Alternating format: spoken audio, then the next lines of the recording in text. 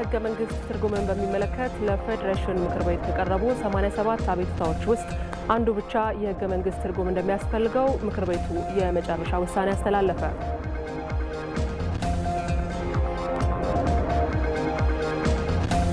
የአዲስ አበባ ከተማ አስተዳደር በ2014 ዓ.ም በልማትና መልካም አስተዳደር ስራዎች አበረታች ውጤት ማስመዝገቡን ገለጸ።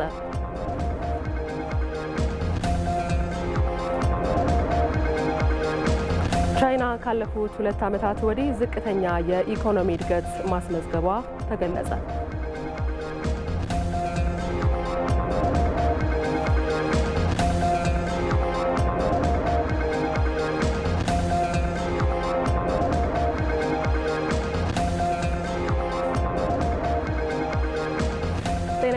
በድጋሚ እንደምናመሻችሁ። ሁለት ሰዓት ሆኖ ኢቲቪ 57 ተጀምሯል። ቀደም ሲል ያስተዋወቅናችሁን ጉዳዮች ጨምረን ሌሎችንም ጉዳዮች ወደ እናንተ እናደርሳለን።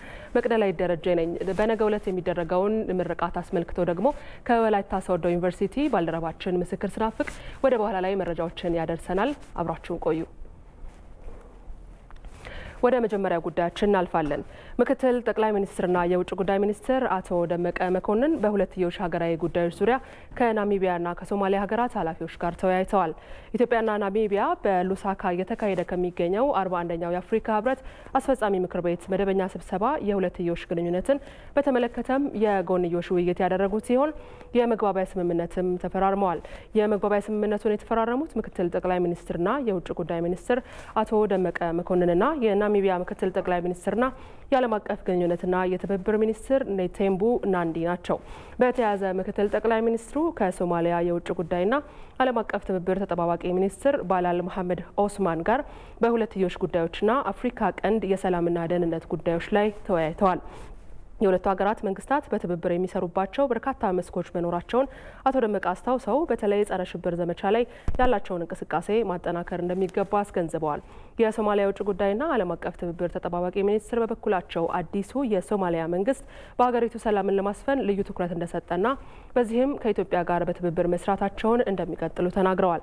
አልሸባብ የሽብር ቡድንን ለማጥፋት በሚደረገው እንቅስቃሴ የሁለቱ ሀገራት ህብረት መጠናከር እንዳለበት ሚኒስትሩ አመልክተዋል። ከውጭ ጉዳይ ሚኒስቴር ያገኘነው መረጃ ነው።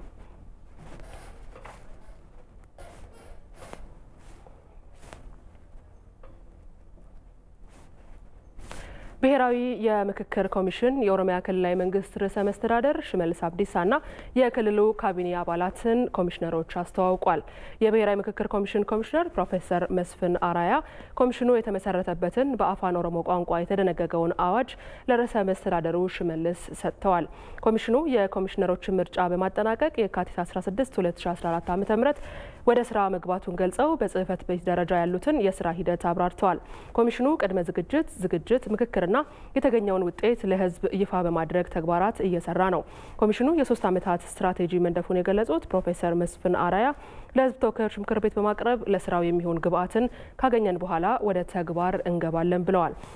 ኮሚሽኑ በሚያከናውነው ስራ ተሳታፊነትን ለማጠናከር እስካሁን ከአምስት ክልሎችና ሁለት ከተሞች ጋር ውይይት መደረጉንና ኦሮሚያም ስድስተኛ ክልል መሆኑን ተናግረዋል።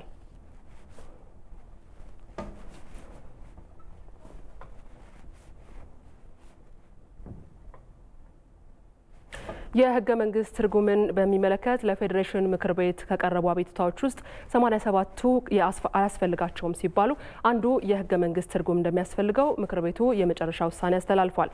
ጉዳዮቹ በተለያየ ደረጃ ባሉ ፍርድ ቤቶች ውሳኔ የተሰጠባቸውና በግለሰቦች የህገ መንግስት ትርጉም ያሻቸዋል ተብለው የቀረቡ አቤቱታዎች መሆናቸውን የምክር ቤቱ የህገ መንግስት ጉዳይ አጣሪ ጉባኤ ተመልክቶና መርምሮ የፌዴሬሽን ምክር ቤት የመጨረሻ ውሳኔ ያሳለፈባቸው ናቸው። ሰለሞን አበጋዝ የፌዴሬሽን ምክር ቤት በ2014 ዓ ም የህገ መንግስት ትርጉምን በሚመለከት 87 አቤቱታዎች ቀርበውለት ጉዳዮችን ሲመረምር ቆይቶ ባካሄደው ሁለተኛ መደበኛ ጉባኤው የመጨረሻ ውሳኔ አስተላልፏል። ከታችኛው የፍርድ ቤት መዋቅር ጀምሮ እስከ ፌዴራል ሰበር ሰሚ ችሎት ክርክር የተደረገባቸውናም የባልና የሚስት የንብረት ጉዳይ፣ የመሬት ይዞታና ሁከት ይወገድልኝ፣ የሞግዚትነት ይገባኛል ጥያቄ፣ የአሰሪና ሰራተኛ ጉዳይ እንዲሁም መሰል ቅሬታን ያስተናገዱ የህገ መንግስት ትርጉም ያሻቸዋል የተባሉ ናቸው ለምክር ቤቱ የህገ መንግስት ጉዳዮች አጣሪ ጉባኤ ቀርበው በስተመጨረሻም ሲመረመር ቆይቶ ውሳኔ የተላለፈባቸው ሰማንያ ጉዳዮቹ ምንም እንኳን በየደረጃው ባሉ ፍርድ ቤቶች ከመጀመሪያ ደረጃ ፍርድ ቤት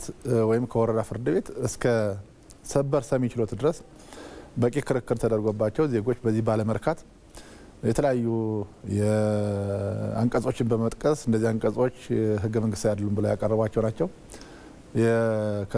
ከቀረቡት 87ቶች ውስጥ ሰማኒያዎቹ የህገ መንግስት አጣሪ ጉባኤ ምንም የህገ መንግስት ትርጉም የሚያስፈልጋቸው ጉዳዮች አይደሉም፣ ጭብጦች አይደሉም። በየደረጃ ያሉ ፍርድ ቤቶች የሰጡት ውሳኔ ህገ መንግስታዊ ነው።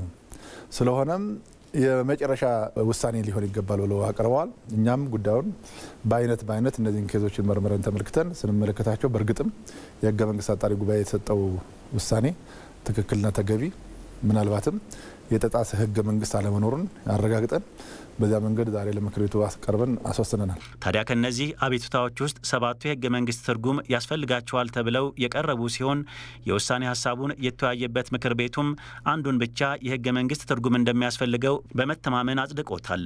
የህገ መንግስት ትርጓሜ ያስፈልገዋል የተባለውም የሞግዚትነት የይገባኛል ክርክር የተደረገበት ውሳኔ ነው። ህገ መንግስቱ የሚለው ሁለቱም ተከሳሽም ተከሳሽም ወይም ተበዳይና በዳይ በዚህ ጉዳይ ላይ ሲያምኑበትና የሚሰጠው እኔ የሚገዛኝ እምነት ነው ብሎ ሲቀበሉትና ሲያምኑበት ነው እንጂ ክርክር የሚደረግበት እምነቴን ቀይር ያለሁና በዚህ ጉዳይ አላምንም በሚሉበት ሁኔታ መታየት የለበት የሚለው ህገ መንግስቱን ያልተከተለ ስለሆነ ይህን ተከትሎ በሸሪያ ፍርድ ቤት የታየው ጉዳይ አግባብነት ስለሌለው ከዚህ በኋላ መታየት ያለበት በመደበኛ ፍርድ ቤት ነው። መደበኛ ፍርድ ቤቱ ሃይማኖትን የማይመለከት ሁሉን ዜጎች በኩልነት የሚዳኝ ስለሆነ ሃይማኖት የቀየረውንና ሌላ እምነት ያለኝ የሚለውንም ያኛውን የነባሩን እምነት የተከተለውን እኩል የማየት ህገ መንግስታዊ ግዴታ ስለሚጥልበት በዚያ ነው መታየት ያለበት የሚል እምነት ያለው ስለሆነና ይህን ያልተከተለ በመሆኑ የህገ መንግስት ትርጉም እንዲሰጠው አስደርገናል። ይሄ ነው ተቀባይነት ያገኘው ማለት ነው። የዜጎች ንብረት የማፍራት ሀብት በህገ መንግስቱ ሙሉ ዋስትና የተሰጠው ቢሆንም የህግን አግባብ አክብሮ የፈራ ሀብት መሆን እንዳለበትም ምክር ቤቱ ገልጿል። ከዚህም በተጨማሪ የምክር ቤት አባላት የፌዴራል ሰበር ሰሚ ችሎት የሚሰጠው የህግ ትርጉምና አስገዳጅነት ላይ ለተነሳው ጥያቄም ዶክተር ሰማ ጥሩነህ ምላሽ ሰጥቷል። የፌዴራል ጠቅላይ ፍርድ ቤት ከአምስት ያላነሱ ዳኞች በተሰየሙበት የሰበር ችሎት የሚሰጠው የህግ ትርጉም በየትኛውም ደረጃ ላይ በሚገኝ የፌዴራል ወይም የክልል ፍርድ ቤት ላይ አስገዳጅነት ይኖረዋል ይላል። ይህን ካለ በኋላ ምን ይላል? ሆኖም ይላል የሰበር ችሎቱ በሌላ ጊዜ በተመሳሳይ ጭብጥ በተመሳሳይ ጭብጥ የተለየ ትርጉም ሊሰጥ ይችላል ይላል። ይሄ ድንጋጌ በራሱ የህገ መንግስት ጥያቄ አያስነሳም ወይ የሚል ጥያቄ ስላለኝ የሰበር ሰሚው ዳኞች የተሻለ አቅም ያላቸው በሂደቱ ብዙ ልምድ ያካበቱ በህግ እውቀት የተሻለ ያላቸው እና የሚሰጡት እንትን ለታችኛው በየደረጃ ላለው እርከን እንደ ማስተማሪያነትና እንደ reference ተደርጎ እንደ ህግ ተደርጎ በዚያ መንገድ እንዲፈጽም ያስገዳል የሚለው በአዋጅ የተደገፈ ነው። ይህን ጉዳይ አንድ ጊዜ እንግዲህ ይሄም የፌዴራል ሰሚ ሰሚ የሚባለው በአንድ ወቅት በአንድ ጉዳይ ላይ ይሄን ጉዳይ ሰጠ ማለት በሌላ ጊዜ በህግ ጉዳይ ላይ በዚህ ጉዳይ ላይ ምርምር ተደርጎ ምናልባትም ያ ሲመለከተው የተመለከተውን ጉዳይ እንዳያሻሽል መከልከል ሌላ ስለሆነ በዛው ላይ ይሄን ፈቅዷል። በተመሳሳይ ደረጃ እርከን ላይ ያለ ሰው በዚህ ጉዳይ ላይ የመመራመር እና ጉዳዩን የጭብጡን የህግ ጭብጦችን ጠቅሶ የማሻሻል እንትን እንዳለው ይደነግጋል። ምክር ቤቱ ሁለተኛ መደበኛ ጉባኤውን ሲያጠናቅቅ የፌዴሬሽን ምክር ቤት አዋጅ ቁጥር 1261 እዝባር 2013 ለማስፈጸም የተዘጋጀውን ረቂቅ ደንብና ውስን ዓላማ ያላቸው የድጎማ በጀትና የፌዴራል መሰረተ ልማት ስርጭት ፍትሐዊነት የክትትል ስርዓትን ለማስፈጸም የተዘጋጁ ረቂቅ ደንቦችን ተወያይቶ አጽድቋል። የአዲስ አበባ ከተማ አስተዳደር በ2014 ዓ ም በልማትና መልካም አስተዳደር ስራዎች አበረታች ውጤት ማስመዝገቡን ገለጸ። የከተማዋ ምክር ቤት ሶስተኛና የበጀት ዓመቱን ማጠቃለያ ጉባኤ ለሁለት ቀናት እያካሄደ ነው። ሙሉ ግርማይ ተጨማሪ አለው። ሶስተኛው የአዲስ አበባ ምክር ቤት አንደኛ ዓመት የስራ ዘመን ሶስተኛና የበጀት ዓመቱ ማጠቃለያ ጉባኤ ለሁለት ቀናት እያካሄደ ይገኛል። ምክር ቤቱ በመጀመሪያው ቀን ውሎ የከተማ አስተዳደሩን የ2014 በጀት ዓመት ዋና ዋና የዕቅድ አፈጻጸም ሪፖርትና የ2015 በጀት ዓመት የዕቅድ አቅጣጫዎችን አደምጠዋል። በ2014 በጀት ዓመት የከተማ አስተዳደሩ የከተማዋን ሰላም በማስጠበቅና እንደ ሀገር ጦርነትን በድል ለማጠናቀቅ የማይተካ ሚና ከመወጣት ጎን ለጎን በልማትና በመልካም አስተዳደር ስራዎች አበረታች ውጤቶችን ማስመዝገቡን ከንቲባዋ አዳነች አቤቤ ተናግረዋል። የህግ ማስከበር ስራችን የሀገራችንንም ሆነ የከተማችንን ሰላም፣ ደህንነት ከማረጋገጥ አንጻር ድርሻችንን ከመወጣት ጎን ለጎን በመደበኛ የልማት እና የመልካም አስተዳደር ስራዎቻችን አስተሳስረን ለማሳካት ያደረግነው ርብርብ በርካታ ውጤቶች እንዲገኙ አድርገውናል። አዲስ አበባ ከተማን ድሃውን የህብረተሰብ ክፍል ማዕከል ባደረገ የኑሮ ጫናን ለማቃለል ከ5.9 ቢሊዮን ብር በላይ ከበጀት ላይ ድጎማ መደረጉንም ከንቲባዋ በሪፖርቱ አንስተዋል። ለከተማው ህዝብ የኑሮ ጫናን ለማቃለል ከስድስት ቢሊዮን ብር በላይ ከበጀታችን ላይ ከበጀታችን ላይ ድጎማ ማድረግ ችለናል። ይህ ማለት የከተማችን አስተዳደር በየትኛውም ሁኔታና ጊዜ ድሃውን ማህበረሰብ ክፍል ማዕከል በማድረግ ያሉበትን ጫና ለማቃለል የሚሰራና ህዝባዊ ወገንተኝነትም ያለው መሆኑን ማሳየት ይቻላል። በከተማው የሚገነቡ ትላልቅ ፕሮጀክቶችን በተያዘላቸው ጊዜ ማጠናቀቅና የገቢ ማሰባሰብ መጠንን መጨመር በሪፖርቱም ተነስቷል። በሌላ በኩል አዲስ አበባን የሁከት ማዕከል የማድረግ የመሬት ወረራና ህገ ወጥነት፣ የአገልጋይነት መጓደልና ብልሹ አሰራር በበጀት ዓመቱ ከነበሩ ተግዳሮቶች መካከል መሆኑን ከንቲባዋ አዳነች አቤቤ ተናግረዋል። ከነበረብን ተግዳሮቶች መካከል ሀገራችን የገጠማት የጦርነት ጫና አዲስ አበባን የሁከት ማዕከል የማድረግ የጥፋት ኃይሎች እንቅስቃሴ፣ ስርዓት አልበኝነት፣ በተሟላ ሁኔታ አገልግሎት አሰጣጥ ላይ የሚታየው አገልጋይነት መጓደልና የብልሹ አሰራር መታየት፣ የኑሮ ውድነትና የገበያ ዋጋ መናር፣ የመሬት ወረራና ህገወጥነት፣ የውጭ ምንዛሬ እጥረት፣ በሃይማኖትና በብሔር መልክ የሚገለጽ ጽንፈኝነት በተለያየ ሚዲያ አውታሮች የተዛባ መረጃን በማሰራጨት ህዝቡን የማደናገር ስራዎች፣ የኮንስትራክሽን ግብአቶች እጥረትና የመዋቅራችን አንዳንድ የሥነ ምግባር መጓደል፣ የአቅም ውስንነቶች ዋና ዋና ተግዳሮቶች እንደነበሩ ልናሰምርበትና ይሄ ምክር ቤትም እነኝም በመፍታት ረገድ የሚያደርገውን ድጋፍ እንዲያጠናክር እግረ መንገዴን ማንሳት እወዳለሁ። በ2015 በጀት ዓመት የከተማዋን ሰላምና ደህንነት የማረጋገጥ የኑሮ ውድነት ጫናን የመቀነስ ስራዎች ዋና ዋና የቅድ አቅጣጫዎች መካከል መሆናቸውንም ከንቲባዋ ገልጸዋል። የከተማችንን የሰላምና ደህንነት ቀጣይነት ማረጋገጥ፣ የወንድማማችነትና እህትማማችነት እሴትን ማጠናከር፣ የምርት አቅርቦትን ማሻሻል፣ የኑሮ ውድነትን ጫና መቀነስ፣ የስራ ዕድል ፈጠራ ስራችንን የማጎልበት እንዲሁም ገቢ የመሰብሰብ አቅማችንን በማሳደግ በበጀት ዓመቱ መቶ ቢሊየን በጀት መሰብሰብ አጠናክረን የምንሰራ ይሆናል። በ14ተኛው ዙር የጋራ መኖሪያ ቤቶች እጣ የተስተዋለውን ህገ ወጥነት ፈጣን እርምጃ በመውሰድ ከዘራፊዎች ማዳን መቻሉን ከንቲባዋ ተናግረዋል። እጣውን ሙሉ በሙሉ ውድቅ በማድረግ በቀጣይ ተገቢውን ሁሉ ጥንቃቄ በማድረግ በፍጥነት ዳግም እጣ በማውጣት በፍትሐዊነት ተደራሽ ለማድረግ ይሰራልም ብለዋል።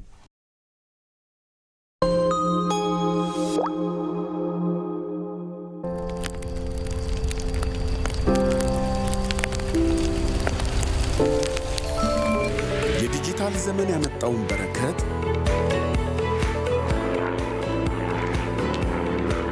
ጊዜው የሰጠንን ውበት ተላብሰን ባለንበት ያቀድነውን ከግብ በምናደርስበት ዘመን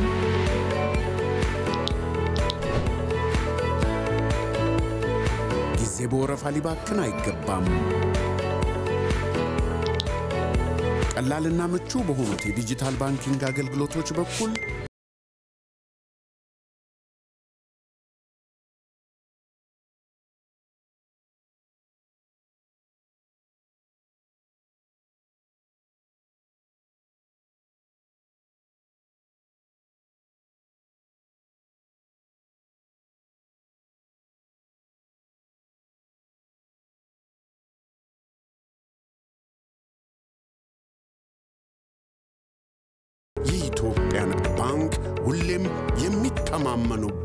የሚተማመኑበት ባንክ።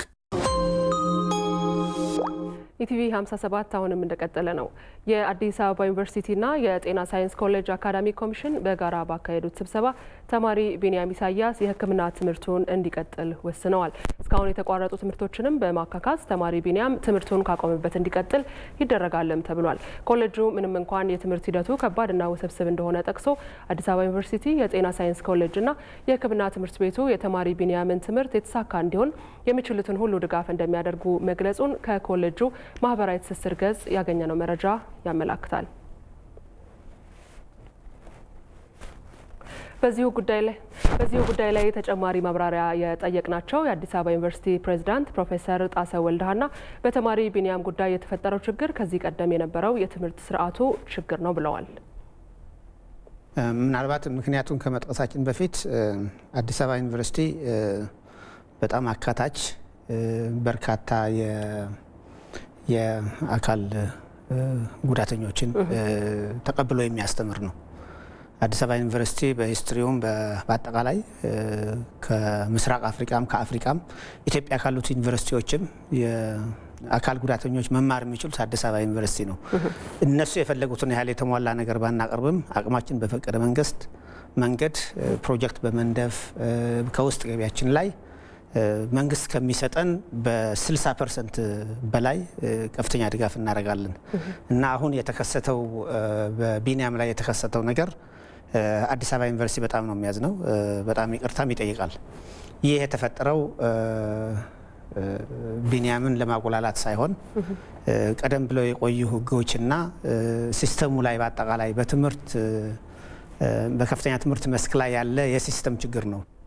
በቀጣይ መሰል ችግሮች እንዳይፈጠሩ ስርዓት ተዘርግቶ እየተሰራ ነው ሲሉም ተናግረዋል። ሁለት ዓመት በፊት ጀምሮ ተስተካክሏል። በአዲሱ የ road map ትምህርት ከሶስት ዓመት ወደ አራት ዓመት ሲቀየር እንደገናም freshman በሚመደቡበት ሰዓት አሁን ኮሌጁ ዩኒቨርሲቲው የሚመድብለትን የ medical ተማሪዎች ከጽሁፍ ፈተና በተጨማሪ የቃል ፈተናና የጤና ሁኔታቸውን አይቶ ነው የሚያስገባው። አሁን ካለፉት ሁለት ዓመታት ጀምሮ ይሄ ነገር ተስተካክሏል። ቢኒያም ግን የገባው ይሄ system ከመምጣቱ በፊት ነበረ። ትምህርት ሚኒስቴር በቀጥታ medical science በሚመድብበት ሰዓት ነው እና የተፈጠረው። አሁን ግን እንደዚህ አይነት ችግሮች አይፈጠሩም። ምክንያቱም system is in place። ወደፊት ደግሞ ይሄ የተፈጠረው ነገር ለአዲስ አበባ ዩኒቨርሲቲ መልካም አጋጣሚም ነው እንለዋለን እና በአንድ ሰው case ህጎች ሊነደፉ ይችላሉ። ስለዚህ ለአካል ጉዳተኞች ምቹ የሆነ የበሽተኞችንም safety አደጋ ላይ የማይጥል መመሪያ በተጨማሪ ይዘጋጃል ወደፊት። already ግን ይህን ወደ ስራ ካስገባ ነው ሁለት ዓመታችን ሆኗል። ይህ ነገር እንደዚህ አይነት ነገር አይፈጠርም። በነገው ዕለትም ዩኒቨርሲቲው በተለያዩ የትምህርት መስኮች ተማሪዎችን እንደሚያስመርቅም ገልጸዋል። አዲስ አበባ በየዓመቱ የቅድመ ምረቃና የድህረ ምረቃ ተማሪዎችን ያስመርቃል። በነገው ዕለት በርካታ የድህረ ምረቃና የቅድመ ምረቃ ተማሪዎችን እናስመርቃለን። በእርግጥ ከሌሎቹ ዓመቱ ጋር ሲነጻጸር የተመራቂ ቁጥር የቅድመ ምረቃ ተማሪ ቁጥር በጣም አነስተኛ ነው። ምክንያቱም ከሶስት ዓመት ወደ አራት ዓመት ሲቀየር ዘንድሮ በአብዛኛዎቹ ገና አራተኛ ዓመት አልደረሱም። ግን አምስት ዓመት ስድስት ዓመት የሆናቸው እና የማታ ተማሪዎች ስላሉ አሁንም ቢሆን በርካታ የቅድመ ምረቃ ተማሪዎች ይመረቃሉ። በምን ፕሮግራሞች ነው የሚመረቁት? በሁሉም መስኮች ናቸው። በቅድመ ምረቃ ወደ ሰባ የሚሆኑ የቅድመ ምረቃ ፕሮግራሞች እና ወደ 217 የሚሆኑ የድህረ ምረቃ ፕሮግራሞች ላይ ይመረቃሉ። ከነዚህ ውስጥ ወደ 131 የሚሆኑት በሶስተኛ ዲግሪ ወይም በ PhD የሚመረቁ ናቸው። የወላይታ ሶዶ ዩኒቨርሲቲ የትምህርት መስኮች ያስተማራቸውን ተማሪዎች በነገው ዕለት ያስመርቃል። ዩኒቨርሲቲው በ14ተኛ ዙር ምርቃት ስነ ስርዓቱ ከ4400 በላይ ተማሪዎቹን በመጀመሪያ ሁለተኛና ሶስተኛ ዲግሪ ነው የሚያስመርቀው። ዩኒቨርሲቲው በአሁኑ ወቅት ከ40 ሺህ በላይ ተማሪዎችን ተቀብሎ እያስተማረ ይገኛል። የወላይታ ሶዶ ዩኒቨርሲቲ ከዚህ ቀደም በ13 ዙር ከ38 ሺህ በላይ ተማሪዎችን ማስመረቁን የዘገበው ሪፖርተራችን ምስክር ስናፍቅ ነው። በዚህ ጉዳይ ላይ ተጨማሪ መረጃዎችን ሊያደርሰን በወላይታ ሶዶ ዩኒቨርሲቲ የሚገኘው ባልደረባችን ምስክር ስናፍቅ በቀጥታ የስልክ መስመራችን ላይ በቀጥታ መስመራችን ላይ ይገኛል። ምስክር እንደምን አምሽተሃል? እንግዲህ በነገው ዕለት የሚያስመርቀው ወላይታ ሶዶ ዩኒቨርሲቲ ውስጥ ነው ያለኸውና የነገው ፕሮግራም ምን አይነት ዝግጅት ተደርጎበታል የሚለውን ንገረን። አመሰግናለሁ መቅደላዊት። የወላይታ ሶዶ ዩኒቨርሲቲ ከዛሬ 15 ዓመታት በፊት ማለትም በ1999 ሲመሰረት ተቀብሎ ያስተናግዳቸው የነበሩ ተማሪዎች ቁጥር 807 ነበረ። አሁን ከ15 ዓመታት በኋላ ይሄ ዩኒቨርሲቲ 40 ሺህ እና ከዛ በላይ የሆኑ ተማሪዎችን ተቀብሎ እያስተናገደ ነው የሚገኘው። በነገው ዕለትም በተለይም በተለያዩ የትምህርት መስኮች ያሰለጠናቸውን ተማሪዎች ያስመርቃል ተብሎ ይጠበቃል። እነዚህም ተማሪዎቹ ከአራት ሺህ በላይ ናቸው። በተለይም ከመጀመሪያ ዲግሪ እስከ ሶስተኛ ዲግሪ በተለያዩ የትምህርት መስኮች የሰለጠኑ ናቸው። እነዚህ ተማሪዎቹ ዩኒቨርሲቲው ከዚህ ቀደም በ13 ዙሮች ተማሪዎች ከ38 ሺህ በላይ ተማሪዎችን በማሰልጠን አስመርቋል። እነዚህም ተማሪዎቹ የዩኒቨርሲቲው ውጤት ናቸው። በተለይም ከመማር ማስተማር ባለፈ የጥናትና ምርምር ስራዎችም ላይ የራሱን አበርክቶ እያዋለ የሚገኝ ዩኒቨርሲቲ ነው።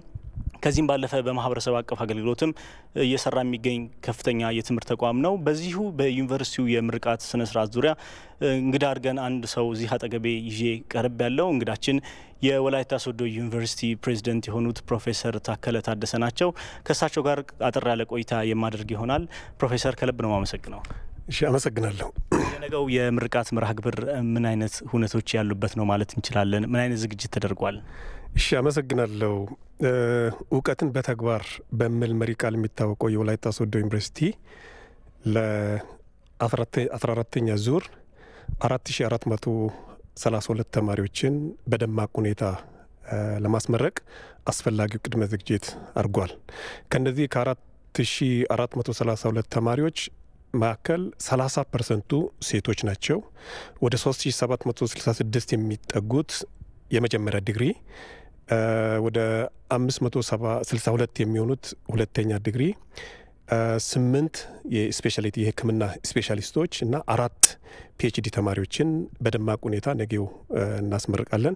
ስለዚህ ውድ ተመራቂያችን፣ የተመራቂ ቤተሰቦች፣ በአጠቃላይ የዩኒቨርሲቲው ማህበረሰብና የወላይታን ሕዝብ እንኳን ደስ አላችሁ፣ እንኳን ደስ አለን እያልኩኝ ይሄ ምረቃ አራት ነገሮች ልዩ ያደርገዋታል። አንደኛው እነዚህ ተመራቂዎች የኮቪድ ወረርሽኝ ፈተናን በጽናት ታግሎ እያለፉ፣ ሁለተኛ በየቦታው የሚከሰቱትን ግጭቶች እና የሰላም ፈተናዎችን ታግሰው ሰላማዊ መማር ማስተማር ሂደት በዩኒቨርሲቲያችን እንዲረጋገጥ በዞናችን እንዲረጋገጥ ከፍተኛ ሚና የተጫወቱ ጀግና ምሩቃን ናቸው። ሶስተኛው አካታች አገራዊ ምክክር መድረክ ለማካሄድ አስፈላጊ ቅድመ ዝግጅት በተደረገበት ማግስት የሚካሄድና እነዚህ ልጆች ደግሞ የራሳቸውን ድርሻ የሚጫወቱ መሆናቸው። ሌላው ዩኒቨርሲቲያችን በአንድ ጀንበር አስር ሺህ ችግኝ ተክሏል። የክልል መንግስት፣ የፌዴራል መንግስት አመራሮች በነበሩበት ተክሏል። እያንዳንዱ ተማሪ ደግሞ አስር ችግኝ የተከሉ ጀግና ተማሪዎች ናቸው። እነዚህ ምሩቃን እንግዲህ በቀጣይ ሀገሪቷ ለምታደርገው ሁለንተናዊ ብልጽግና ከፍተኛ ሚና የሚጫወቱ ምሩቃን ናቸው ብለን ነው የምናስበው። ዩኒቨርሲቲያችን እንደ ማንኛውም applied science ዩኒቨርሲቲ እንግዲህ በሀገሪቱ 15 applied science ዩኒቨርሲቲዎች አሉ። ከነዚህ ውስጥ ግንባር ቀደም የሆነ ተቋም ነው። በግብርና፣ በጤና፣ በከርሰ ምድር ጥናት፣ በስነሰብ እና በ engineering ና ቴክኖሎጂ ዘርፍ እቅድ አውጥቶ የአስር ዓመት እቅድ አውጥቶ ሰፊ ስራዎች እየሰራ ነው ያለው። በተለይ ደግሞ በቀጣይ በትምህርት ጥራትና በምርምር ጥራትና ተግባርነት ላይ ሁለተኛው በመሰረተ ልማት እና ግንባታ ስራዎች ላይ ጥራት ላይ ትኩረት ሰርተን ለመስራት በዩኒቨርሲቲ የሚታዩ መልካም አሰራር ችግሮችን በወቅቱ የመፍታት ቀጣይ ደግሞ ሰላማዊ መማር ማስተማር ሂደቱን ከማረጋት አንጻር ሰፊ ስራዎችን ለመስራት ዝርዝር እቅድ አውጥተን እየሰራ ነው ያለ ነው። ስለዚህ ይሄ ስራ ስኬታማ እንዲሆን የዩኒቨርሲቲያችን በተለይ ተማሪዎች፣ የዩኒቨርሲቲው ማህበረሰብ፣ የወላይታ ህዝብ ደግሞ ከዩኒቨርሲቲው ጋር እጅ ለእጅ በመያያዝ የዩኒቨርሲቲ አጥር በመሆን ምንም አይነት ኮሽታ ሳይኖር ተማሪዎቻችን ለዚህ ቀን እንዲበቃ ስላደረጉ እጅግ ከፍ ያለ ምስጋና እያቀረብኩ ለእጩ ተመራቂዎቻችን፣ ለተመራቂ ቤተሰቦች፣ ለዩኒቨርሲቲው ማህበረሰብ፣ ለወላይታ ህዝብ እንኳን ደስ አላችሁ፣ እንኳን ደስ አለን እላለሁ። እጅግ በጣም ከፍ አድርጌ አመሰግናለሁ። ፕሮፌሰር ታከለ ታደሰ የወላይታ ሶዶ ዩኒቨርሲቲ ፕሬዚደንት፣ በነገው የምርቃት መርሃ ግብር ላይ አስመልክተው ስለሰጡን ማብራሪያ ከልብ ነው ማመሰግነው። እኔም አመሰግናለሁ። እንግዲህ ቻችን በነገው ዕለት በ14ተኛ ዙር የወላይታ ሶዶ ዩኒቨርሲቲ የሚያስመርቃቸውን ተማሪዎች በምርቃት መርሃ ግብሩ ላይ ለመካፈል በርከት ያሉ እንግዶች ወደ ወላይታ ሶዶ ዞን እየመጡ ነው የሚገኙት። የወላይታ ሶዶ ከተማ እንግዶቿን ለመቀበል ሽር ጉድ ስትሉላለች። እኛም በነገው ዕለት ያለውን የምርቃት ስነስርዓት ወደ እናንተ የምናደርስ ይሆናል። መቅደላዊት፣ በእኔ በኩል ያሉት መረጃዎች ይህንን ይመስላሉ። ምስክር እናመሰግናለን። መልካም ምሽት ተመልካቾች። ኢቲቪ 57 ይቀጥላል። መልእክቶችን ተከታትለን እንመለሳለን።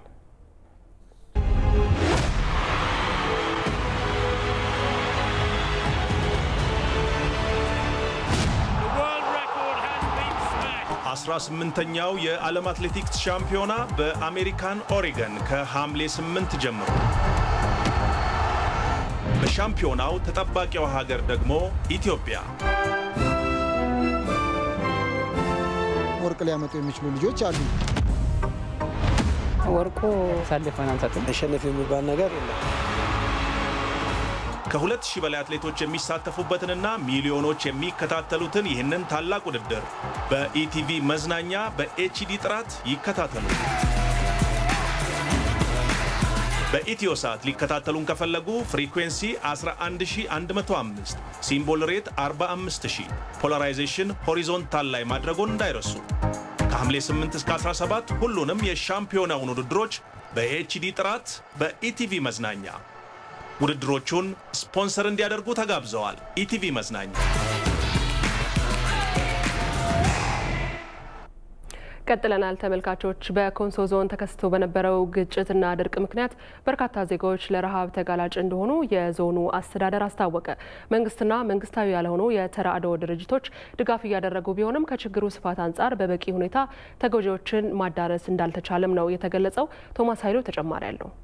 በጠንካራ የስራ ባህላቸው የሚታወቁት በደቡብ ክልል የኮንሶ ነዋሪዎች በተለያዩ ጊዜያት ተከስተው በነበሩ ግጭቶችና ባስከተሏቸው መፈናቀሎች እንዲሁም የበልግ ዝናብ እጦትን ተከትሎ በተከሰተ ድርቅ አሁን ላይ በርካታ ዜጎች የረሃብ አደጋ እንዳንዣበበባቸው ከኢቲቪ ጋር በስልክ ቆይታ ያደረጉት የዞኑ ዋና አስተዳዳሪ አቶ ዳዊት ገበየው ገልጸዋል። ያው የ actual figure ኡ እንግዲህ በየጊዜ ያው በየቦታ እንትን ስላለ ይሄ ነው ብሎ actual ቁጥሩ እንትን ባይደረግም በተሰራው አስመንት መጠን ያው ሰፊውን የህዝብ ፓርቲ የያዘ ረሃብ ነው ተከሰተው። መንግስትና መንግስታዊ ያልሆኑ አካላት ድጋፍ እያደረጉ ቢሆንም ከጉዳቱ ስፋት አንጻር ግን ድጋፉ በቂ ነው ማለት እንደማይቻልም ነው አቶ ዳዊት የገለጹት። ያው ክልል በገንዘብም በእህልም ድጋፍ እያደረገ ነው አለው። ግብረሰናይ ድርጅቶች ደግሞ ያው በእጃቸው ላይ ያለውን ነገር በቻሉት መጠን ድጋፍ እያደረጉ ነው ያሉት። ጤና አገልግሎትን በመስጠት አልሚ ምግቦችን በመደገፍ ከመንግስት ጋርም ተባብሮ ነው እየሰሩት ያሉት።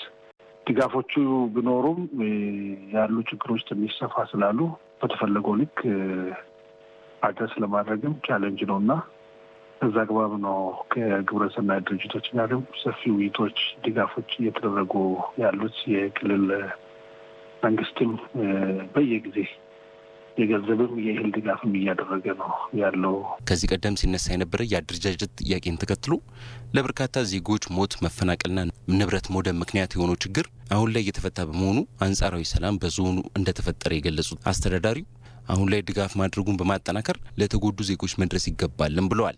አሁን already መንግስትም ተቆጣጥሯል። አንጻራዊ ሰላሞች አሉ። በየአካባቢው ያው ካለው ንብረት መውደሙ ጋር ተያይዞ የተወሰኑ ቦታዎች ጋር ሰው ወደ ቦታው ባይመለስም ግን አሁን አንጻራዊ ሰላሞች አሉ። በመንግስት ቁጥጥር ስር ነው ያሉት እያንዳንዱ area ዎች። I hope ተስፋ እናደርጋለን በአጭር ጊዜ ውስጥ ወደ ነበረው ሰላም እንደመመለስ። በዚህ አጋጣሚ እንግዲህ ያሉ መንገዶችም ክፍት ናቸው። ከአርባ ምንጭ እስከ ጂንካ ያለው መንገድም ክፍት ነው። ስለዚህ ይሄ ደግሞ መንገዶች ክፍት መሆናቸውን ደግሞ ያለውን አንጻራዊ ሰላም የሚያሳይ ነው እና በዚህ አጋጣሚ መንገዶችም ክፍት መሆናቸውንም የመንገዶችን መጠቀም የፈለጉ አካላቶችን በዚህ ደረጃ ቢያውቁ ጥሩ ነው የሚል ሀሳብ አለኝ። የህዝብ ለህዝብ ግንኙነትን በማጠናከር እንዲሁም በዜጎች የሚነሱ ጥያቄዎችን በተገቢ መልኩ ለመመለስ የዞኑ አስተዳደር በትኩረት እንደሚሰራም ነው የዞኑ አስተዳዳሪ አቶ ዳዊት ገበየው የገለጹት። ኢትዮጵያ የገጠሟትን ችግሮች ለመፍታት ጠንካራ የስራ ባህልና የፈጠራ አቅምን ማሳደግ እንደሚገባና ለዚህም የተለያዩ ስራዎች የተከናወኑ መሆኑን የስራና ክህሎት ሚኒስትሯ ሙፈሪያት ካሚል ገለጹ። የኢትዮጵያ ፕሬስ ድርጅት የሚያዘጋጀው ስለ ኢትዮጵያ የተሰኘው የውይይት መድረክ በጅማ ከተማ ተካሂዷል። ተስፋዬ ጫኔ ተጨማሪ አለው። የኢትዮጵያ ፕሬስ ድርጅት የሚያዘጋጀው ስለ ኢትዮጵያ ውይይት መድረክ የተለያዩ ወቅታዊና ሀገራዊ ጉዳዮችን እየዳሰሰ ይገኛል። ስድስተኛው ስለ ኢትዮጵያ ውይይት መድረክም በጅማ ከተማ የተከናወነ ሲሆን ብሩህ ሀሳብ ስራና ክህሎት የሚል ሀሳብ ላይ ትኩረቱን አድርጓል። የውይይት መነሻ ሀሳብ ያቀረቡት የስራና ክህሎት ሚኒስትሯ ሙፈሪያት ካሚል ሀገር እንድትለወጥ ካስፈለገ ጠንካራ የስራ ባህልና የፈጠራ ክህሎት ላይ በስፋት መስራት እንደሚገባ ጠቁመዋል። የኢኮኖሚ ነጻነቱ ስር ሊሰድ ከሆነ የፖለቲካ ነጻነቱ ዘላቂና አስተማማኝ እንዲሆን ከሆነ ኢትዮጵያን ሊፈልጓት፣ ሊመኟት፣ ሊከጅሏት ይችላሉ አሉታዊ በሆነ መንገድ። ነገር ግን ፍላጎታቸው ፍላጎት ሆኖ እንዲቀር ማድረግ የሚቻለው ከበልቶ ከማደር በላይ በሚሻገር ሀሳብ ላይ የተመሰረተ ስራ መስራት ይጠይቃል ማለት ነው። እነዚህን እድሎች አሟጦ ለመጠቀም የአሰራር የአደረጃጀት ስርዓተ ስልጠናችንን የመቀየር ሰፋፊ ስራዎች ተጀምረዋል። ሌላው በመድረኩ የውይይት መነሻ ሀሳብ ያቀረቡት የንግድና ቀጠናዊ ትስስር ሚኒስትር ዴኤታው እንዳላማው መኮንን ሉላዊነት የፈጠረውን ጠንካራ የውድድር ዓለም በአሸናፊነት ለመወጣት ራስን ማዘጋጀት ያስፈልጋል ብለዋል። ዓለም ደግሞ globalization ገበያውን ለሁላችንም አንድ አድርጎታል። ገበያ አንድ ነው ይዘን የምንወጣው። የዓለም ገበያ ለሁላችንም አንድ ነው፣ ግን ተወዳዳሪ መሆን መቻል አለብን ነው በምርታማነት በጥራት።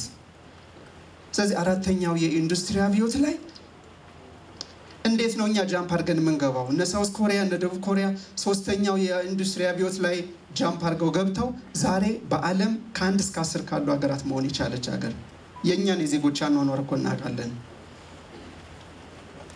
የእኛን የግብርና አመራረት ሂደት እኮ እናውቃለን። ስለዚህ አሁን የተጀመሩ ጅምሮች አሉ። እነዚህን ጅምሮች አጠናክሮ መስራትን ይጠይቃል። በሌላ መልኩ ደግሞ ኢትዮጵያ የገጠሟትን ፈተናዎች በአሸናፊነት ለመወጣት ያላትን ሰፊ የሰው ኃይል ቁጥር በአግባቡ መጠቀም እንደሚያስፈልጋት ሌላኛዋ ጽሑፍ አቅራቢ መቅደስ ገብረወልድ አስረድተዋል። የሰው ኃይል ካፒታላችንን ለማሳደግ ስንል እውቀቱ ምን አይነት እውቀት ነው ሊኖረው የሚገባው? ልምዱስ ምንድን ነው? በዛ ላይ ባህሪውስ ደረጃን አይቶ እሴት ለመጨመር የሚሄድ ትውልድን እንዴት ነው ልናመጣው የምንችለው? እሴት ደግሞ የሚጨመረው አዌርነስ ሲኖረን ነው። ምን አይነት ህዝብ ነው ያለን? የት እንዳለን ካላወቅን ወዴት እንደምንሄድ ግራ ነው የሚገባል። ስለዚህ ነባራዊ ሁኔታችንን አውቆ ተረድቶ ሊያሻገር የሚችል መሪና መሻገር የሚፈልግ ህዝብ ያስፈልገናል ማለት ነው። መድረኩን የመሩት የኦሮሚያ ክልል ምክትል ርዕሰ መስተዳድር አወሎ አብዲ በበኩላቸው ኢትዮጵያ በዘመናት መካከል በፈተናዎች መሀል እያለፈች መሆኗን አስታውሰው ይህ የአሸናፊነት ስነ ልቦና በሌላ አዲስ ታሪክ ይደገማል ብለዋል። ሀገራችን ኢትዮጵያ ብዙ ፈተናዎች ከዱሮ ሲገጥማት ነበር። ጦርነት ነበረ፣ አሸንፋለች። ከጣሊያን ወረራ ጀምሮ ትላልቅ ጦርነቶች ነበሩ፣ አሸንፋለች። አሁንም በወያኔዎቹ የታገዘ በሀገር ውስጥ ባንዳና በውጭ ባዕዳን የታገዙ በርካታ ጦርነቶች ናቸው፣ አሸንፋለች። ወደፊትም ተሸንፋለች። ስለዚህ ከጦርነት ወደ ሰላም ትሻገራለች። ከስድስተኛው ስለ ኢትዮጵያ ውይይት መድረክ ጎን ለጎን በጅማ ከተማ የፎቶ አውደ ርዕይና የችግኝ ተከላ መርሃ ግብርም ተካሂደዋል። በምሽቱ የያዝናቸውን ዋና ዋና ዜናዎች እናስታውሳችሁ። የህገ መንግስት ትርጉምን በሚመለከት ለፌዴሬሽን ምክር ቤት ከቀረቡ 87 አቤቱታዎች ውስጥ አንዱ ብቻ የህገ መንግስት ትርጉም እንደሚያስፈልገው ምክር ቤቱ የመጨረሻ ውሳኔ አስተላለፈ።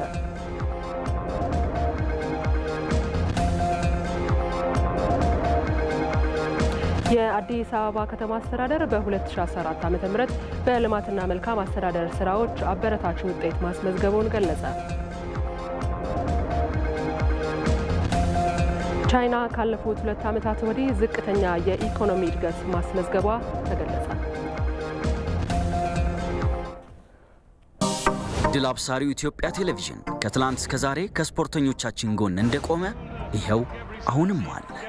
በአሜሪካ ኦሪገን ሪጅ በሚደረገው በ18ኛው የዓለም አትሌቲክስ ሻምፒዮና ተሳታፊ የሆነው ብሔራዊ ቡድናችን በድል እንዲመለስ እንመኛለን። ከጥቁርና ነጭ ቀለም አንስቶ በኢትዮጵያ የቴሌቪዥን ታሪክ ቀደምትና አንጋፋ። ዘመኑ በደረሰበት በላቀ ምስልና ድምፅ ጥራት በኢቲቪ መዝናኛ በኢትዮ ሰዓት frequency 11105 symbol rate 45000 polarization horizontal። scan በማድረግ በ HD ጥራት ይከታተሉ። ከሐምሌ 8 ጀምሮ የሚደረገውን 18ኛውን የዓለም አትሌቲክስ ሻምፒዮና እስከ ፍጻሜው ድረስ ቤቶ ሆነው በኤችዲ ጥራት በኢቲቪ መዝናኛ ይከታተሉ። ድል ለአትሌቶቻችን! ኢቲቪ መዝናኛ። ቀጥለናል። ከፌዴራል የጸጥታና ደህንነት የጋራ ግብረ ኃይል የደረሰን መግለጫ አለ፣ እንደሚከተለው አቀርበዋለሁ። የክልልነት ጥያቄዎች በሰላማዊ መንገድ ምላሽ እንዲያገኙ ከመንቀሳቀስ ይልቅ ጉዳዩን የአመፅና ሁከት መነሻ ለማድረግ በሚሞክሩ አካላት ላይ እርምጃ እንደሚወሰድ የፌዴራል የጸጥታና ደህንነት የጋራ ግብረ ኃይል አስታወቀ። የፌዴራል የጸጥታና ደህንነት የጋራ ግብረ ኃይል ለመገናኛ ብዙኃን በላከው መግለጫ እንዳስታወቀው መንግስት በደቡብ ብሔር ብሔረሰቦችና ሕዝቦች ክልል በተለያዩ ጊዜያት የሚነሱ የክልልነት ጥያቄዎችን በሀገሪቱ ሕግና በሰላማዊ መንገድ ለመፍታት እየሰራ ይገኛል። ነገር ግን አንዳንድ አካላት ይህንን ሂደት በሚቃረን መንገድ ሕጋዊ ጥያቄዎችን ሽፋን በማድረግ ሁከትና ብጥብጥ ለመፍጠር በህቡ ዝግጅት ማድረጋቸውን የጋራ ግብረ ኃይሉ ባደረገው ክትትል ስለተደረሰበት ተገቢው እርምጃ ይወሰዳል ብሏል። መግለጫው እንዳብራራው የደቡብ ብሔር ብሔረሰቦችና ሕዝቦች ክልላዊ መንግስት በስሩ የሚገኙ ዞኖችን በአዲስ መልክ ለማዋቀር እንቅስቃሴ እያደረገ ይገኛል። ጌዲዮም በአዲስ መልክ ከሚዋቀሩ ዞኖች አንዱ ሲሆን የህብረተሰቡን ተሳትፎ በተጨባጭ ለማረጋገጥ ይቻል ዘንድ ሰሞኑን የመወያያ ሰነዶች ተዘጋጅተው የዞኑ ነዋሪ እየመከረበት ይገኛል። ይሁንና የጌዲዮ ዞን የክልልነት ጥያቄ መፍትሄ የማይሰጥ ከሆነ ጥያቄያችንን በኃይል እናስፈጽማለን የሚሉ አካላት በህቡ ተደራጅተው እየተንቀሳቀሱ መሆኑን የፌዴራል የጸጥታና ደህንነት የጋራ ግብረ ኃይል በተጨባጭ መረጃዎች አረጋግጧል። በህቡ የተደራጁ አካላት የጥፋት እቅዶቻቸውን ለማሳካት ሀሰተኛ የማህበራዊ ትስስር ገጾች በመክፈት የተዛቡና የፈጠራ መረጃዎችን እያሰራጩ መሆኑን ያመለከተው የጋራ ግብረ ኃይሉ መግለጫ ማህበረሰቡንም በተሳሳቱ መረጃዎች ለማደናገር እየሞከሩ መሆኑን ጠቁሟል። እነዚህ አካላት ያደራጇቸው ግለሰቦችና ቡድኖች ቤት ለቤት ጭምር እየተንቀሳቀሱ ቅስቀሳ እያደረጉ እንደሚገኙም ይህም በደህንነትና በጸጥታ አካላት እንደተደረሰበት አመልክቷል። የጋራ ግብረ ኃይሉ ለዚህ እኩይ ዓላማ የተደራጁና የተሰለፉ ግለሰቦችን፣ ቡድኖችን በደህንነትና በጸጥታ መዋቅሩ አማካኝነት ለይቶ ክትትል እያደረገባቸው መሆኑን በማስገንዘብ ከጥፋት ተልዕኳቸውም እንዲቆጠቡ በጥብቅ ያሳስባል ብሏል። ይህንን ተላልፈው በሚገኙ ላይም ተገቢውን እርምጃ እንደሚወሰድም ያስጠነቅቃል። አብዛኛው የዞኑ ህብረተሰብ የጥፋት ተልዕኮ ያነገቡ አካላት ህቡ እንቅስቃሴ ተገቢ አለመሆኑን በማመን ለጸጥታና ለደህንነት አካላት ጥቆማ በመስጠት የሁከትና ብጥብጥ ተልዕኮ እንዲከሽፍ አስተዋጽኦ እያደረገ መሆኑን የጠቆመው የጋራ ግብረ ኃይሉ መግለጫ በቀጣይም ከእንደዚህ አይነት የጥፋት ሴራ ራሱን በማቀብ አጠራጣሪ ሁኔታዎችን ሲመለከት ለመንግስት አካላት መረጃ በመስጠት የአካባቢውን ሰላም ለማረጋገጥ የበኩሉን ሚና እንዲወጣ ጠይቋል። የፌዴራል የጸጥታና ደህንነት የጋራ ግብረ ኃይል ሐምሌ 8 ቀን 2014 ዓ.ም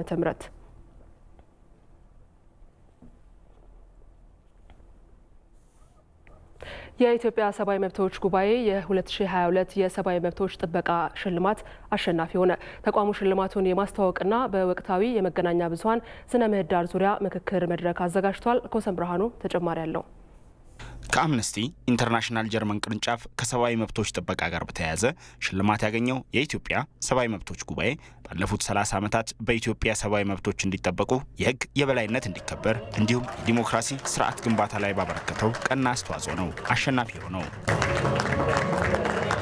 የአንድ ሰው ሽልማት አይደለም፣ የበርካታ ሰዎች የተቋም ሽልማት ነው። ሽልማቱ ደግሞ ብዙ መስዋዕትነት ያስከፈለ ሽልማት ነው።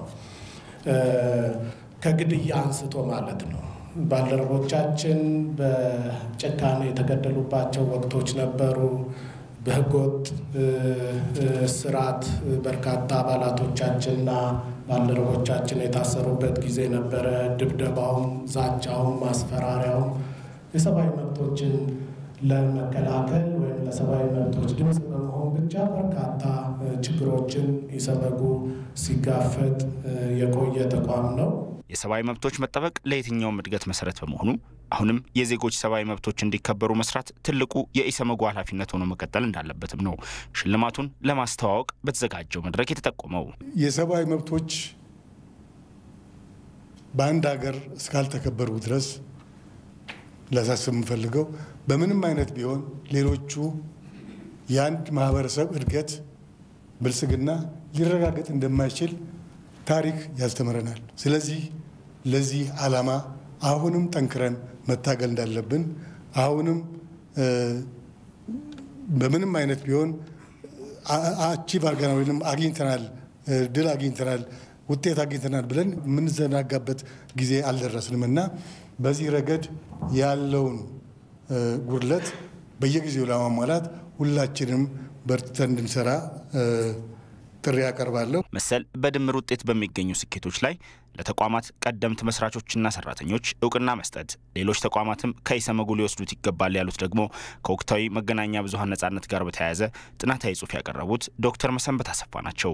በጥናታዊ ጽሑፋቸውም ኢሰመጉን የመሰሉ የሰብአዊ መብት ተሟጋች ተቋማትን በማጠናከር እንዲሁም በሕግና በአሰራር ተጠያቂነትን በመፍጠር መገናኛ ብዙኃን ነጻነትና ኃላፊነታቸውን በአግባቡ እንዲወጡ ለማድረግ ትልቅ ስራ እንደሚያስፈልግም ጠቁመዋል። ሁሌ ከመንግስት መጠበቅ የለብንም። ለምሳሌ መብት ብቻ ሳይሆን ኃላፊነቶቻችንንም ለመወጣት የራሳችን ስርዓትና ተቋሞች ካሉ የመንግስት እጅ አጭር ይሆናል፣ ቀላል ይሆናል። maybe space ኡን ራሳችን ከያዘ ማለት እና በተለይ self regulation ላይ በተለይ የራስ በራስ የማስተዳደር ስርዓት press council ኡ የሚሆን የሲቪል ማህበራት council ኡ ትልቅ ስራ ይጠበቅባቸው። ምክንያቱም ኤጀንሲ ወይም ደግሞ መንግስት የሚመጣበት ብዙ ጊዜ ሁኔታ ላይ ሊሆን ይችላል። ራሳችንን ስፔሱን ገበን ማድረግ ከቻለ መገናኛ ብዙኃን በሀገር ግንባታ ውስጥ የሚኖራቸውን ሚና ከፍ ለማድረግም የሰለጠነ የፖለቲካ ባህል ወሳኝ በመሆኑ ከግለሰብ እስከ ተቋማት ኃላፊነታቸውን ሊወጡ እንደሚገባም ጥናታዊ ጽሑፉ ይጠቁማል። የወልቂጤ ከተማ የውሃ አለመኖር በነዋሪዎች ዘንድ ከፍተኛ ቅሬታን ፈጥሯል። ረጅም ጊዜያትን ያስቆጠረው የውሃ ችግር እንዲፈታላቸው ነዋሪዎቹ እየጠየቁ ነው። እንደሚከተለው ይቀርባል። ወይዘሮ ክብርነሽ መርጋ የወልቂጤ ከተማ ነዋሪ ናቸው። ባለቤታቸው የቀን ስራ ሰርተው በሚያገኙት ገቢ ነው ሶስት ልጆቻቸውን የሚያስተዳድሩት። በአንድ እጅ የሚደገፈው የነ ወይዘሮ ክብርነሽ ቤተሰብ ከሳቸው የጤና ችግር ጋር ተደራርቦ ከባድ ጊዜያትን እያሳለፉ እንዳሉ ይናገራሉ። ረጅም ጊዜያትን ያስቆጠረው ወልቂጤ ከተማ ውስጥ ያለው የውሃ ችግርም ለዚህ ቤተሰብ ሌላኛው ፈተና ነው። የከተማው የውሃ ችግር አካል ጉዳተኛ ለሆኑት ወይዘሮ ክብርነሽ ረጅም መንገድ እንዲጓዙ አስገድዷቸዋል። ከባድ ነው ለመግለጽ ሁላ ይከብዳል። እንግዲህ ርዝመቱ አይተሽዋል፣ ሄደናል አብረን። በጣም ረጅም ቦታ ነው፣ ተሸክመሽ ለመምጣት ይከብዳል። አይደለም እንደኔ አቅመ ደካማ ይቅርና ጤናማ ሰው ራሱ ይዞ መምጣት በጣም ከባድ ነው። መኪና ያለው በመኪናው ያመጣል፣ ብር ያለው በብሩ ያመጣል። ዛሬ አንድ ጀረኪና ውሃ በሀያ ብር ገዝተሽ ይከብዳል፣ በጣም ይከብዳል። ዛሬ ከኑሮ አንጻር እያየሽ ነው። በከተማው ውሃ ይገኝበታል በተባለው አካባቢ በየቤታቸው የውሃ መስመር የተዘረጋላቸውም ሰዎች ጭምር ሲቀዱ አስተውለናል። ይህ የከተማው የውሃ ችግር ለነዋሪዎች ፈታኝ ሕይወትን እንዲመሩ አድርጓቸዋል። መስመሩ ተዘርግቷል፣ ግን ሰው የቢል ይከፍላል ሁሌም ማለት ነው። ክፍያው አለ፣ ውሃው ግን የለም። ውሃ በመኪና በባጃጅ አንድ ሰው 15ና 20 ብር ከፍሎ ነው በባጃጅ አስልኮ የሚያመጣው ማለት ነው። ትንሽ ደሞዝ አለኝ። በደሞዜም አሁን በባጃጅ በ10 ብር 20 ብር አስመጣለሁ። ያ የሌለውስ እንዴት ሊሆን ነው? አሁን የቦዣ በር እንኳን የወልቂጤ አይደለም የወሊሶም ህዝብ ይሆናል፣ የአዲስ አበባም ይደርሳል። እኛ አመራር ነው ያጣ ነው።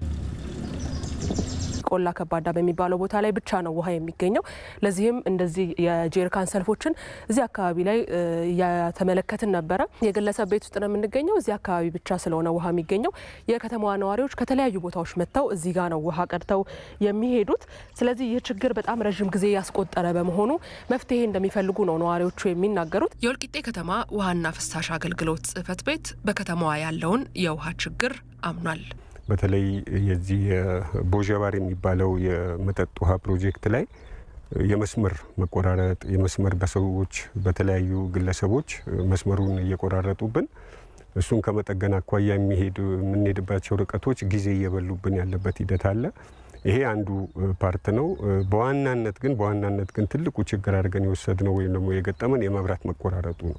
የክረምት ወቅት ካላስቸገረ በከተማዋ እየተነሳ ያለውን የውሃ ችግር በሁለት ወራት ውስጥ ለመፍታት 37 ሚሊዮን ብር ወጪ በማድረግ የተጀመሩ ፕሮጀክቶች እንዳሉም ተገልጿል። ሁለት ጉድጓዶች ናቸው የተቆፈሩት። እዚህ ጋር እንደምታዩ አንዱ ጉድጓድ አለ። ሌላኛው ጉድጓድ በዛ በግራ በኩል ነው የሚገኘው። የሁለቱ ጉድጓዶች አቅም almost ወደ 32 ሊትር per second ይሰጠናል። ይሄም እንግዲህ ከተሳካ almost ወደ 50 percent ያህል ችግሩን ይቀርፍልናል ብለን እንገምታለን። ምናልባት አየሩ ሁኔታ ካረበሸን በስተቀር በዚች ሁለት ወር ውስጥ እናጠናቀቃለን ብለን እንገምታለን። በወልቂጤ ከተማ በአሁኑ ሰዓት ያለው የውሃ ሽፋን 54 በመቶ እንደሆነ ከውሃና ፍሳሽ አገልግሎት ጽሕፈት ቤት ያገኘነው መረጃ ያሳያል።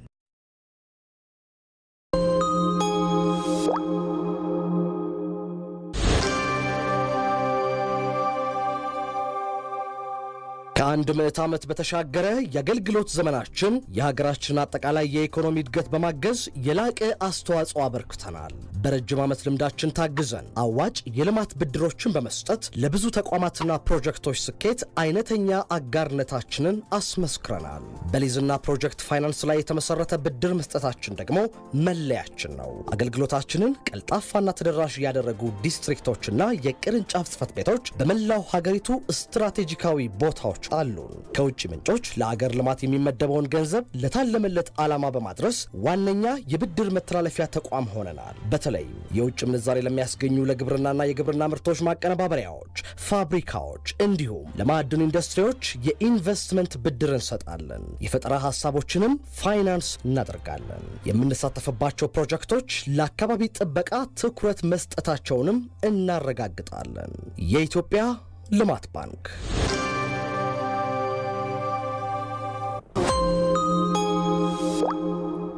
ከውጭ የዜና ምንጭ ወደ ያዝነው ጉዳይ እናልፋለን። ቻይና ካለፉት ሁለት ዓመታት ወዲህ ዝቅተኛ የኢኮኖሚ እድገት ማስመዝገቧ ተገለጸ። በዓመቱ አጋማሽ የተመዘገበው የኢኮኖሚ እድገት ዝቅተኛ በመሆኑ መንግስት ከአምስት ከመቶ በላይ እድገት ለማስመዝገብ የወጣው እቅድ ላይሳካ እንደሚችል የኢኮኖሚ ባለሙያዎች አብራርተዋል።